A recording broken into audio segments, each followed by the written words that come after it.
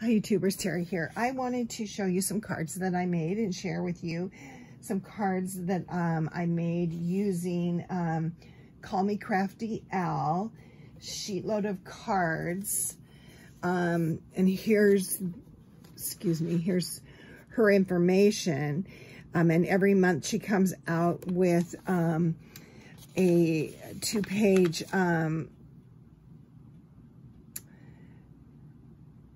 templates for making cards and I use the one for um,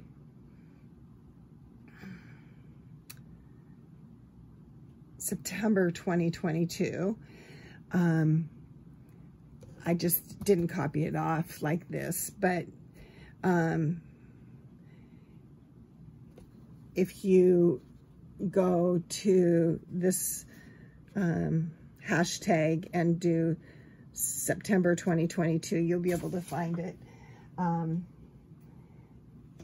and I really enjoy doing these. And the paper I made these cards with is Tulla Norbert Sweet as Honey. I just love this collection. And I have ephemera and stickers and um, I think a six by six pad, this. Um, and I also ordered some extra papers. So I made three different um, sets of two um, uh, prints um, from this set. And um, I made eight of each. And um, these fit in a mini slimline um, envelope. let me show you the these envelopes fit them. Um, it's number six and three quarter white envelopes is what I got. I just got these on Amazon and they fit them just fine. So um, I used uh, embossing folder um, that I have.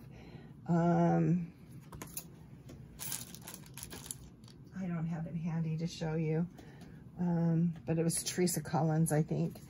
Um, so I put, I used that on some of these.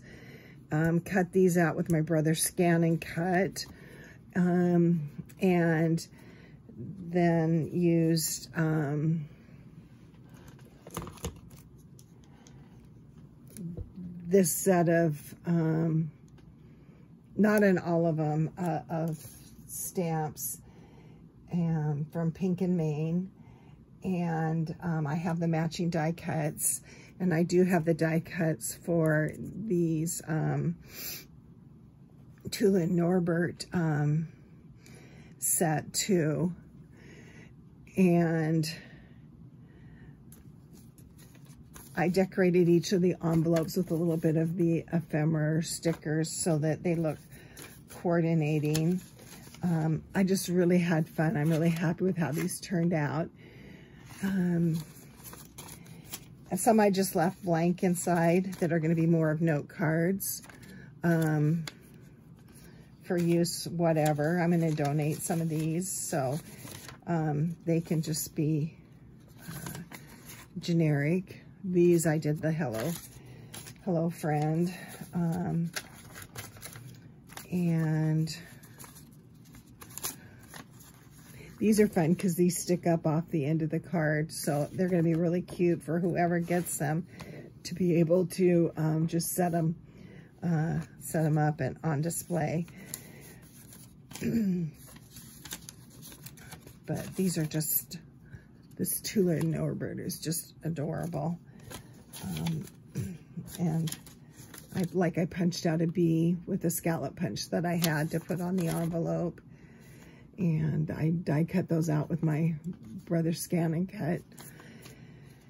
And here's, um, so there was eight of those. And then the second set I made was with these two um, prints from the collection. And um, I did have a bunch of these. So this is mounted on foam tape. All the gnomes are mounted on foam tape and um, I just coordinated them.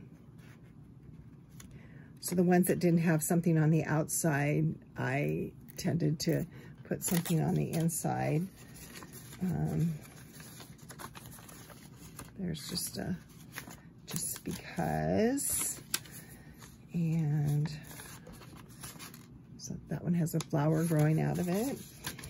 And then the third set that I um, made some out of is these two prints. Uh, this is probably my favorite. Um, I used some die cuts for the front of the envelope there. And um, just because. So anyway, they're all pretty much similar. I just used um, cardstock that I, uh, texture cardstock that I had um, that coordinated and um, just kind of made them all different. I've kind of been working on them over the last couple weeks. So um, anyway, that is my share for um, Call Me Crafty Owls. Um, show us your sheet load. Um, and I just wanted to share what I had done with her um, monthly template for this month. Thanks for watching. Bye.